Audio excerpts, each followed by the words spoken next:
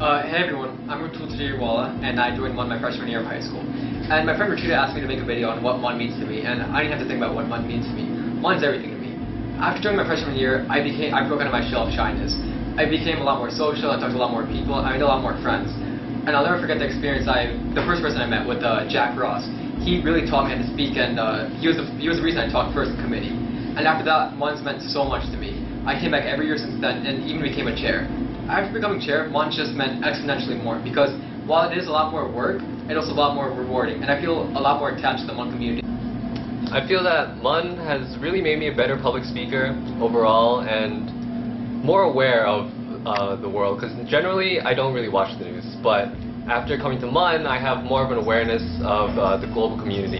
Joining MUN has been one of the, the best decisions that I've made so far. Um, I think being in this club really allowed me to become more confident in voicing my opinions and, and not being afraid to talk amongst a group of people that I've never met before and just say what I really believe and what I think.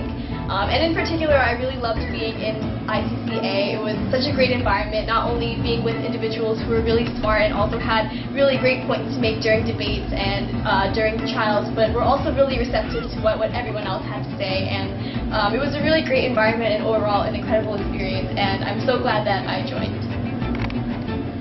Model UN has taught me the four core values of the YMCA. I learned responsibility by being a leader at my school's delegation as a vice president, showing people the direction in which to go to develop their passion for this amazing club. And care was uh, shown through my ability to really respect each of my um, uh, delegates and really show them the way um, to progressing to be really good delegates at conference.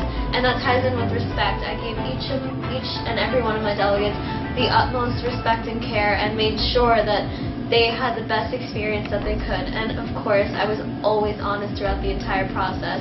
So MUN has really taught me how to be a better person, and now I can use this in all of my daily life and really be the person that I always wanted to be through MUN.